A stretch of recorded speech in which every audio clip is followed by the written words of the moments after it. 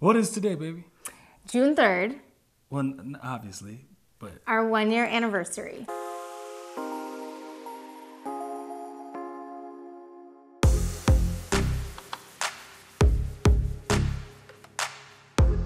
hey guys, welcome back to the channel. Um, today is a very, very, very special day for us. It is our one year anniversary, and of course, we're very excited about that. Um, but you know, honestly, this has a this is an episode that carries a tone that we wish it didn't have to carry. Right. But you know, our world is facing some pretty dark times. Our country, especially, is facing a, a- a pretty dark times with the uh, death of George Floyd, and um, you know, it's kind of hard to to even celebrate as Right. we probably have been planning on doing it since the first day we started dating because of everything that's going on right now. Yeah. And it's hard because we've been trying to find the right way to talk about this. I mean, even in our daily conversations, it's it's hard. You know, it's just uh, it's very difficult because there's a lot of emotion attached to it, a lot of pain, a lot of anger, a lot of sadness.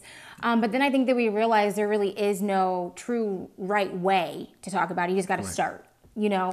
Um, and i think that you know as we come up on this milestone you know it, it's our one year anniversary um, we've been thinking a lot obviously about our future together and what we want that to look like.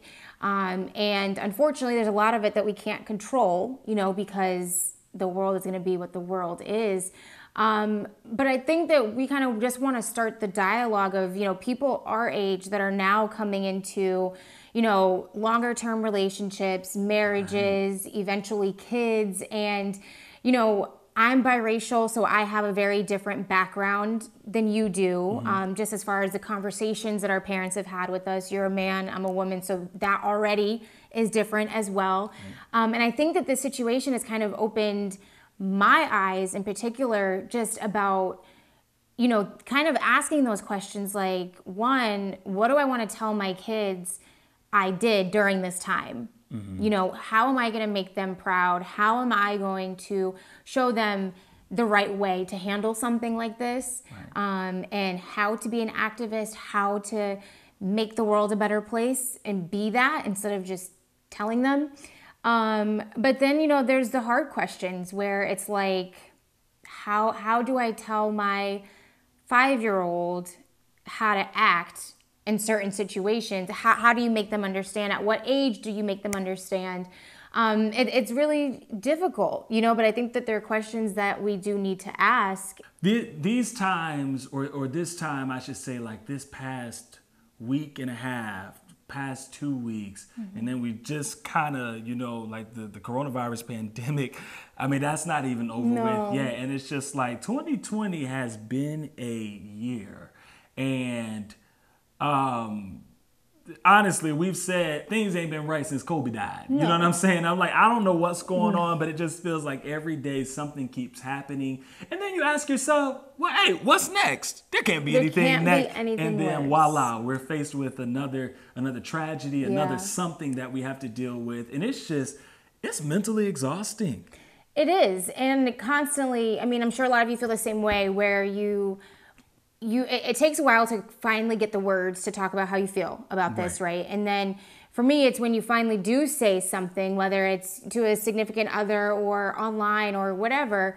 Um, it almost like it escapes you. It, it, it doesn't feel like those words do any justice, you know. Um, and it's been a very emotional, draining, exhausting time. But I think that at the same time, I'm also very hopeful because I am seeing a lot of people for once that aren't black outraged about what's happening. And that hasn't happened every single time that a black life has been taken. Right. um, and so i think that i feel hopeful because it's like okay like maybe this is finally when people are going to educate themselves. And that includes me too because i will admit i am not the most educated when it comes to the civil rights movement i mean when you think back to what is taught in schools it's not really in depth unless you go out of your way you know what I mean? Even in college, you have to take certain courses, but they're not mandatory, you know? And I, I wish I had those experiences. So now I'm doing the work, and that is okay if you are 28, 33, 45, however old you are, it's never too late to educate yourself, especially at a time like now when you do need to arm yourself with that type of information because you, you have to know what you're fighting for and you have to know why and what has been put in place that enables this to even happen in the first place. So Jacksonville is blessed that a lot of things you've seen in other cities you Yeah. haven't really seen here and of course we wonder what that scene would be like you know um, in certain places the protesting isn't so peaceful Right. um, in certain places you've had people from organizations who have kind of come in to paint this bad picture Right. about what the protesting is and what it's supposed to be doing in that city. And that's very unfortunate. But let's be real, you're always going to have people that find an opportunity, whether it be they're the ones, you know, looting and, and, Yeah. and breaking in the stores. Meanwhile, you have some of the innocent ones who are on the outside saying, oh, we, listen, is we're literally. Yeah. trying to fight for what we believe in and make sure our voices are heard. As black journalists, and I've seen many, you know, who have been uh, using their platforms to to do right in a time Mm-hmm. like this, and it's really hard to find out what is the right thing to Right. do. Uh, but I've seen many of them who have, you know, they're using their platforms to just bring awareness to what is happening because. In some cases, some people don't know that this stuff is happening. Right. You can't know what you don't know, you know, and I think that this is, you know, one of the biggest teaching moments of our time and of my lifetime. I know that. Um, where I think that there needs to be open dialogues and you need to be willing to listen. And I think that that is the biggest thing is first shut your mouth and listen. Just don't even don't say but this, but I faced this and I did like Right. no. Right. Just listen. Listen to the feelings of a black friend, a black coworker. You know, listen to that and really listen to understand, not just to hear. And then educate yourself. There are so many books, there's so many documentaries Right. um, that really kind of it's eye opening and it's one of those things that you shudder when you watch or you you know you kind of shake your head we're watching 13th on netflix and the entire time i mean we're just sick you know and it's but it's, it's the reality. It's the and I reality think that's what it. makes it, you know, um, kind of hard to just watch, honestly. This is the year of 2020. We have election seasons coming up and everything like that.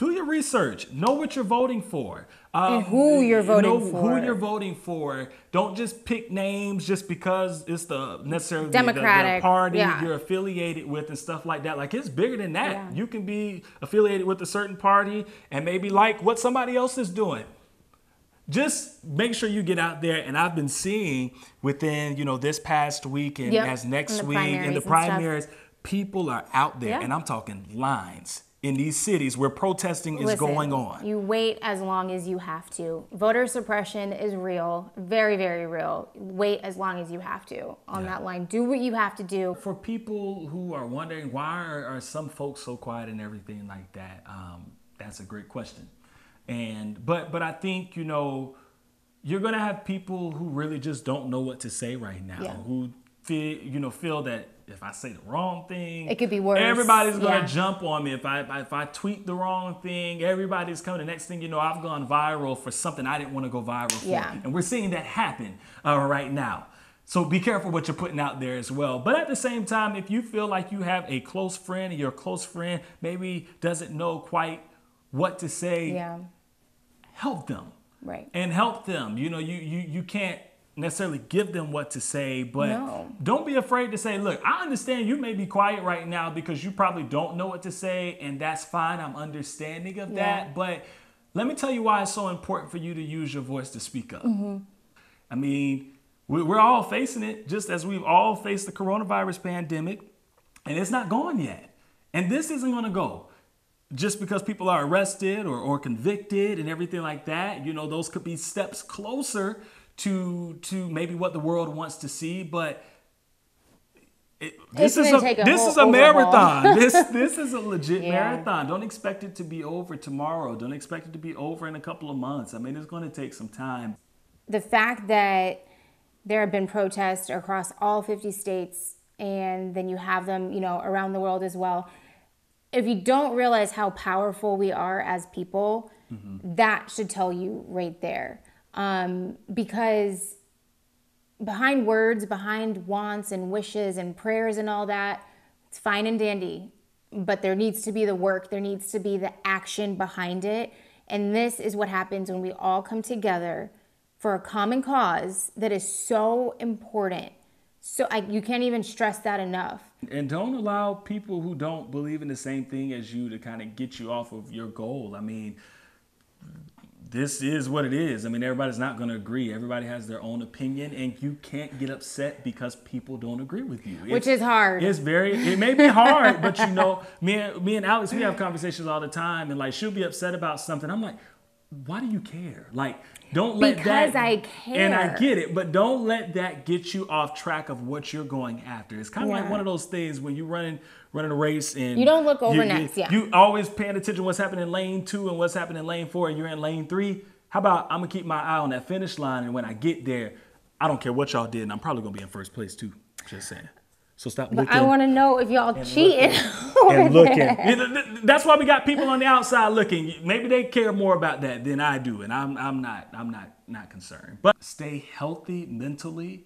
Uh, take a moment away from social media sometimes because all you're seeing, you know, we went from seeing nothing but coronavirus stuff every day and seeing deaths, deaths, deaths. This person died. This person tested Yeah. positive. This thing. Okay, now George Floyd, George Floyd, George Floyd. Here is the the video that we've seen a million times. Right. Oh, and now here are people protesting, and Yeah. now here are people looting, and now here are people saying this, and now I'm mad because how dare they say something like that about this situation, whatever it may be.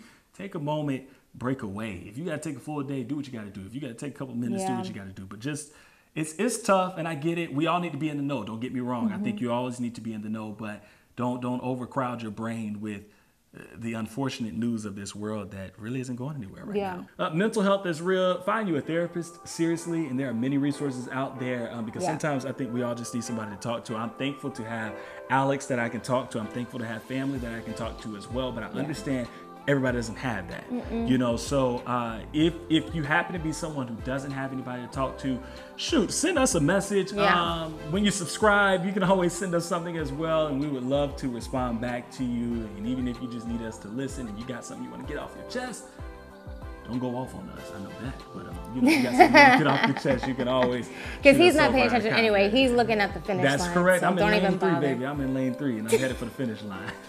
We'll see you guys next time.